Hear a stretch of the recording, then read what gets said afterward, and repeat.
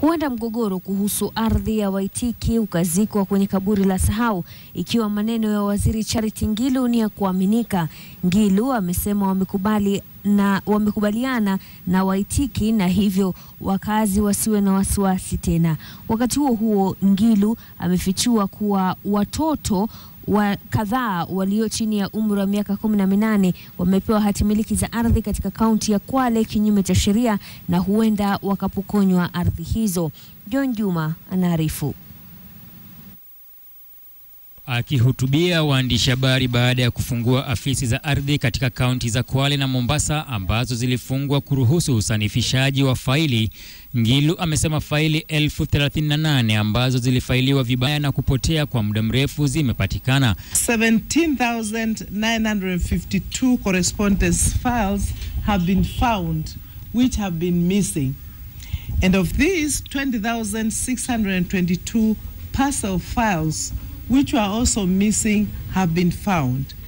I want just to say that this is going to make a big difference.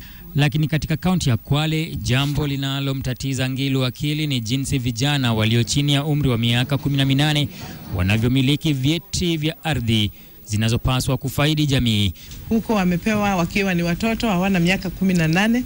Kwa hivyo tunasema hiyo, wale tumepata wakiwa wamepewa hiyo ardhi, tutachukua hiyo landi au hiyo ardhi na tutawapatia wengine.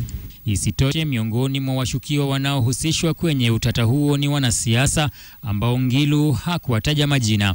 Pia alikuwa na ujumbe wa furaha kwa wakazi wa Likoni, hasa wanaoishi kwenye shamba la Waitiki. Shamba la Waitiki, mimi na Mr. Waitiki na serikali tumemaliza. Kwa watu wale wanaishi huko wasiwe na shida, kwa sababu hakuna mtu atawatoa sasa kwa shamba za hiyo, shamba. Lakini kwa wale ambao mikataba ya ardhi zao inafikia tamati baada ya miaka 99 almaarufu leases, watapokonywa mashamba hayo iwapo itabainika kuwa hawakuwa wakiyatumia mashamba hayo kama inavyohitajika. Baada ya kukamilika kwa shughuli za usanifishaji, basi unadhifu unajitokeza, na matokeo hapa ni kwamba shughuli za ardhi zitafanywa kwa haraka na urahisi kusaidia Wakenya. John Juma, KTN, katika afisi za ardhi, kaunti ya Mombasa.